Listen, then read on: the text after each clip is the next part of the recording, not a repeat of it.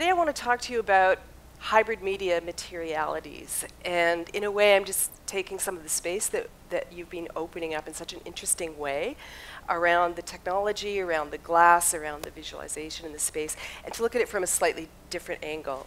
Now, uh, the first slide that I'm showing is from one of our graduate students at OCAD University, and it's a slide from uh, uh, 360 degree visualization of uh, the Canadian Detention Center system. And it basically portrays the end of life experience of a woman who committed suicide, a Mexican migrant within that system.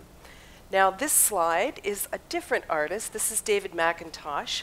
And he is using, uh, he's creating a network performance between Cusco in Peru and Buenos Aires in Argentina based on the Quipu Camayoc, which is an Andean traditional cultural form of writing that involved tying knots.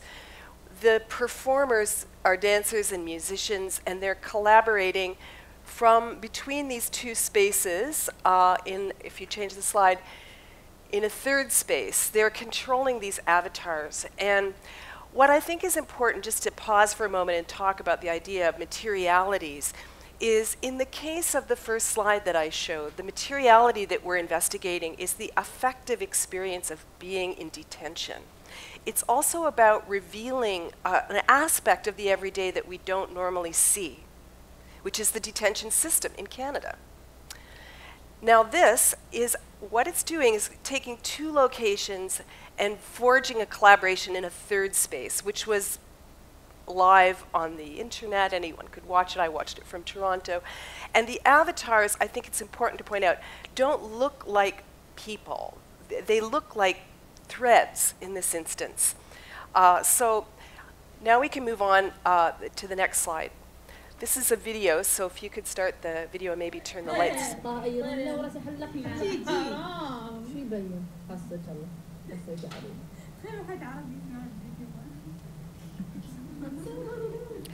I'm going to talk while the video is happening. Uh, this is a workshop at Zayed University in Dubai that I conducted using a point cloud camera that we've developed in our lab.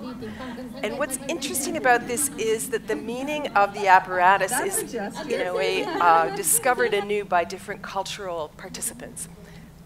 So if we can, you can continue, but turn it up a little louder.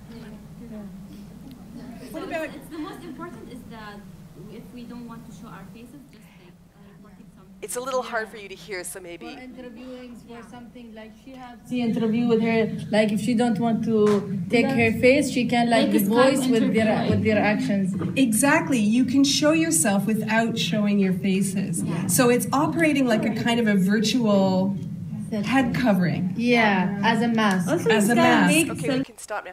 So, what was discovered by the workshop participants in Zayed University is that the technology uh, could be used not just to show the details of your face or to reveal uh, your physical telepresence, but to disguise your face, to cover your face, and yet reveal your gesture.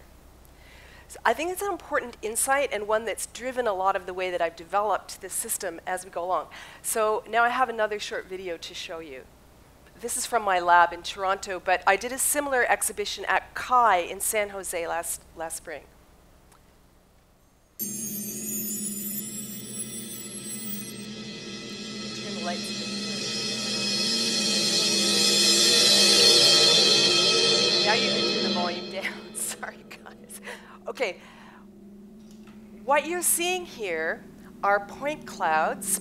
These are images that are captured with an ordinary Xtion Pro like a Kinect, and they're recorded. They're three dimensional time based images. So the background images are pre recorded images, and depending upon what sort of point you enter the ONI file from, they look completely different. In the foreground, that's uh, Aboriginal dancer, two spirited dancer Cody Ottertail Berry, who's engaging with the pre recorded imagery. His image is influenced with Perlin noise, which has been a very big component. It's a sort of secret sauce in a lot of what we've been doing with these applications because what Perlin noise allows us to do is to create a relationship between the active and inactive dots within the point cloud itself.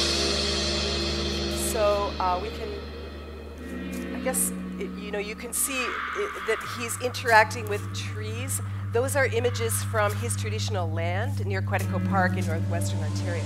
So again, the cultural participant is bringing his own point of view based upon his, uh, well, how he, from his own embodied material context, finds meaning in the in the system. Uh, now, if we could stop the video, I'll just uh, we'll now move to discussing a different form of output.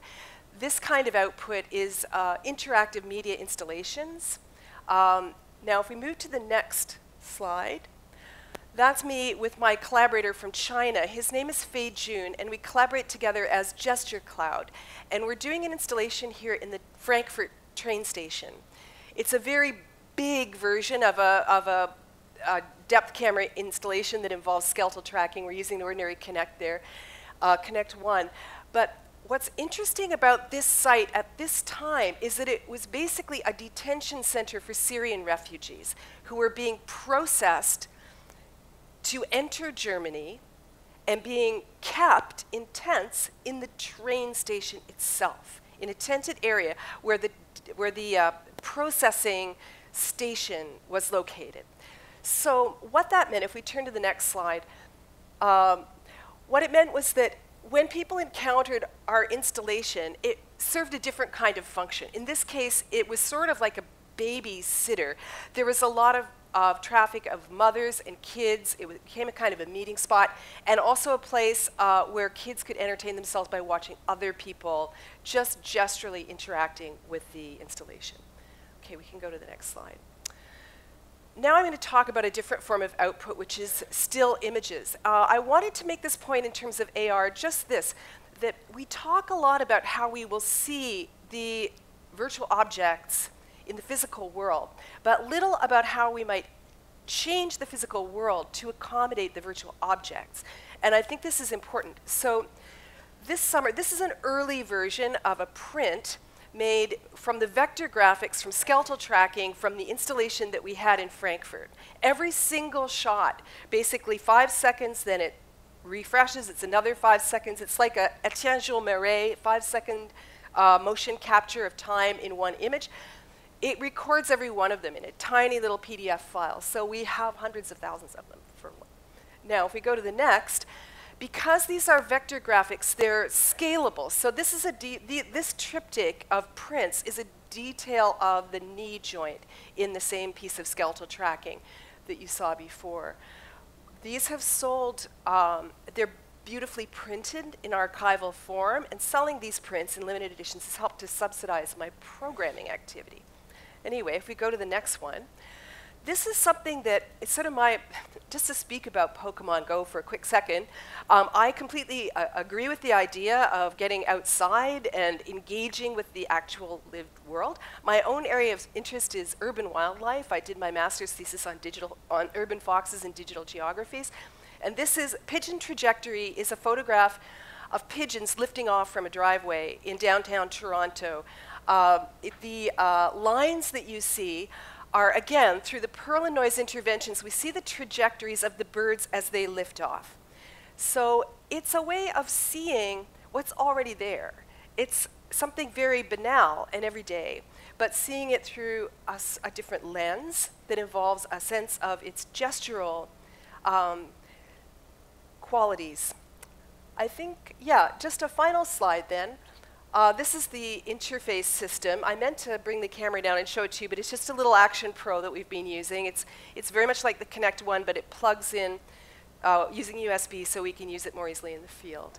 And we've been developing this system over several years and several programmers, and this summer we intend to maximize it for the production of 2D and 3D prints with the intent of making things that are sort of like gobos, if you understand theater, things that like Venetian blinds in a way, only working with the sun and with the uh, with this kind of digital imaging that we're able to do using uh, the manipulation of the point clouds.